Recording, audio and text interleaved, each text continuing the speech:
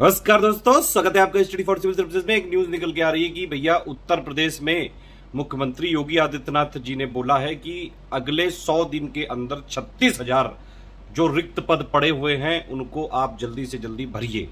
यानी कि जितनी भी वैकेंट पोजीशन है, उसका अध्याचन जारी होना चाहिए बहुत जल्दी।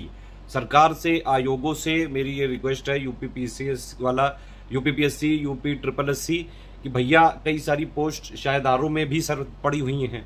आर ओ आर ओ में भी पड़ी हुई हैं। कई सारी पीसीएस के भी को बहुत डिपार्टमेंट में पड़े हुए हैं। यूपी ट्रिपल एस में बहुत ज़्यादा स्लो चीज़ें चलती हैं। प्लीज़ सर थोड़ा सा इस पर भी ध्यान दीजिए। दोबारा सरकार बनी है तो ऐसे कई बार न्यूज़ में पिछली बार भी आया था, सारे वादे सर पूरे नहीं हो पाए थे। अभी भी सर बहुत उम्मीद है, अब तो कर दीजिए प्लीज़ क्या कहते हैं आप लोग? छत्तीस हज़ार वैकेंसी जितने भी रिक्त पद पड़े हैं, सारे जो है कितने दिन में भरे जा सकते हैं। प्लस आपकी जो जो भी डिमांड हो, प्लीज़ यहाँ पे ज़रूर बताइए। यूपीपीएससी में भी बहुत सारी चीज़ें सुधारने के लिए अभी भी हैं। अगर सर थोड़ा सा उस पर ध्यान दे दें तो बहुत सारे उनके भी केस पेंडिंग हैं। जैसे कि स्केलिंग मॉडरेशन वाला, अब 2021 में समस्या है कि क्लियर होगी वो होगी कि नहीं होगी? क्योंकि उसमें तो लिख दिया था एज पर कोर्ट, उससे पहले लिख दिया था एज पर रिक्वायरमेंट।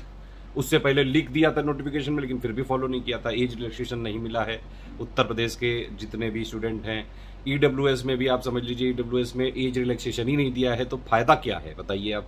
एक और चीज़ है, आयोग ने खुद माना था, अभी थोड़े दिन पहले ऑफिशियल आंसर की जारी की थी, उन्नीस बीस की, कि करीबन तीस पैंतीस सवाल तो उनको जो है हटाने पड़े हैं।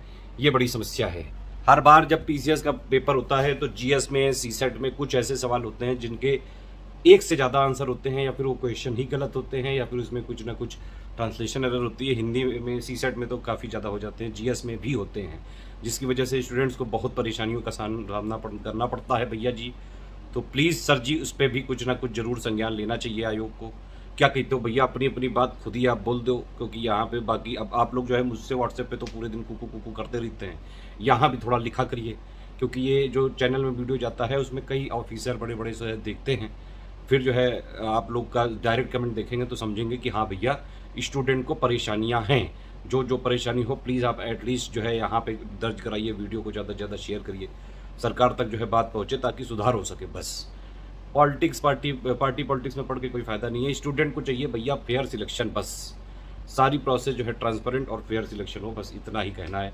यूपीपीएससी में भी बहुत सारे सुधार की ज़रूरत है। जैसे बीपीएससी का जो अभी लेटेस्ट केस खुला है, ये यूपीपीएससी में भी बहुत ज़्यादा सुधार की ज़रूरत है। बहुत सारी चीज़ों को सुधारा जाना चाहिए। आर ओ की वैकेंसी भी कई सारी पड़ी है, वो भी जल्द से जल्द आनी चाहिए। कोविड में कई सारे लोगों को नहीं जो है, पेपर दे पाए तो उनको भी एक एक्स्ट्रा अटेम्प्ट मिलना चाहिए। मेरे हिसाब से तो ये अच्छा और बहुत ज़रूरी मुद्दा है ये। प्लीज़ सर, संज्ञान लीजिए, प्लीज़।